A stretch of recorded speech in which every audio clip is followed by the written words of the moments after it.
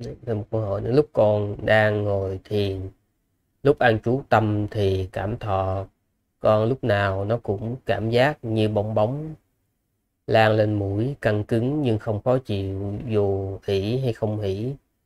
Có lúc đồng lồng ngực nhồi bóp giống hồi nhồi bột.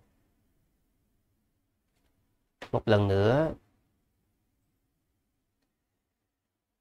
À, quý vị thứ nhất là nếu mà nói một cách ngắn gọn là quý vị đang thực hành sai. Phương pháp thực hành của quý vị đang có vấn đề. Ờ, nhưng mà cái vấn đề ở chỗ nào đó thì nó giống như thế này nè. Quý vị uh, gửi tin nhắn đến một vị bác sĩ nói là thưa bác sĩ tôi bị đau đầu. Hết không có một thông tin gì thêm. Ví dụ như tôi bao nhiêu tuổi? Thể chất như thế nào? Tôi ăn uống ra làm sao? Sinh hoạt ra làm sao?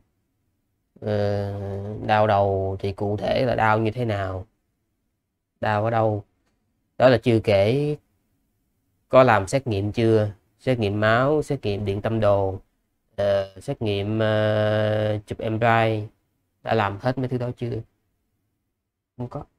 Không có gì hết trơn khi bác sĩ bác sĩ tôi bị đau đầu.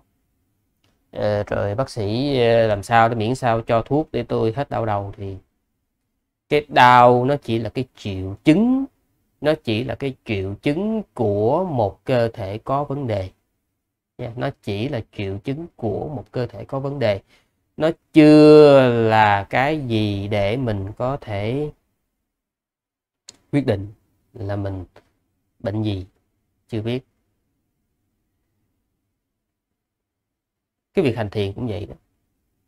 Cái việc mà quý vị vừa vừa mới nêu cho sư thì nó chỉ là một cái triệu chứng của việc quý vị hành thiền có vấn đề. Còn cụ thể nó như thế nào đó, quý vị không có nói. Ừ. và sư lặp lại. Làm ơn làm phước nếu có yêu quý, có tôn trọng cái việc hành thiền, thì phải đến thiền viện. Không ở đó thì cũng phải đến gặp trực tiếp vị thiền sư để mà hỏi. Bởi vì cái thái độ nó quyết định cái kết quả. Từng có anh cư sĩ. Đương nhiên là vào cái thời không có dịch. Anh lặn lội đường xa anh đến chỉ để gặp sư để chỉ để anh hỏi một cái vấn đề của anh và khi mà sư có một cái vấn đề mà sư cần phải hỏi mặc dù cái vấn đề đó, đó sư chỉ cần thứ nhất là cần xác nhận.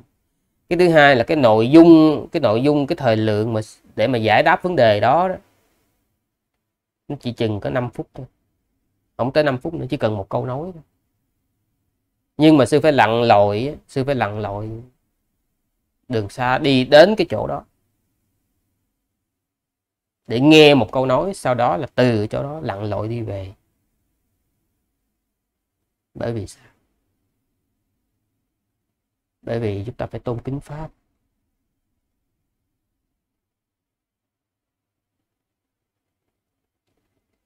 Mà nhất là đặc biệt đối với cái pháp hành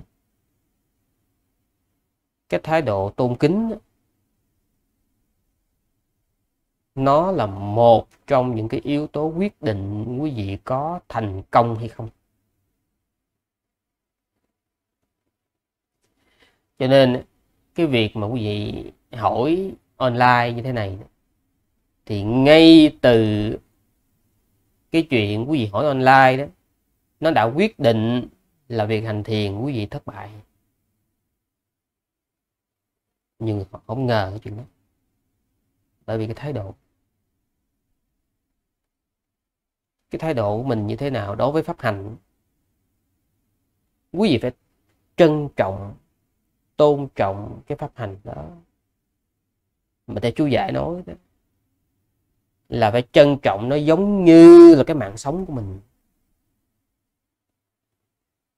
Trân trọng nó giống như là cặp mắt của mình, con mắt duy nhất mà mình đang, mình còn lại. Trân trọng nó. Hoặc trân trọng nó giống như một cái đứa con, một cái đứa con mà bế trên tay mình chỉ cần sơ sẩy tí xíu nó sẽ chết. Phải có thái độ trân trọng như vậy. Thì khi đó cái pháp hành của mình mới có cơ hội tiến bộ. Cho nên cái thái độ của mình đối với cái pháp hành, nó là một trong những cái yếu tố quyết định là mình có thành tựu cái gì hay không. Vì biết là tại sao mà pháp hành thiền hơi thở ừ. Ờ, sư, bản thân sư. Sư có thể sư hỏi online cũng được vậy. Sư gọi sư gọi cho những cái vị à, vị này vị kia, sư hỏi vẫn được vậy. Nhưng mà tại sao sư phải sư phải lặn lội đường xa? Sư đến, sư gặp các vị đó, tham gia à, ở đó một thời gian để mà chi, để chi. Trong khi đó, khi sư ở đó, sư gặp các ngài đó sư, sẽ gặp các ngài đó, ừ, gặp có chút xíu à. Và các ngài chỉ trả lời sư có vài câu đó nhưng mà để mà được các ngài trả lời vài câu đó sư phải ở đó một thời gian. Cái thái độ nó quyết định cái kết quả. Còn khi mà thái độ mình không có đó thì hành thiền chỉ là thiền trên miệng thôi. Nha.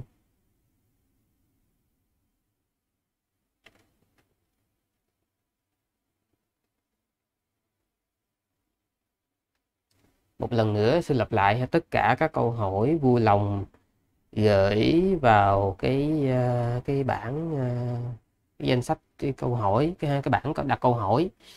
Ờ, tại vì mọi người đều xếp hàng ha, mà mình chen ngang rất là kỳ.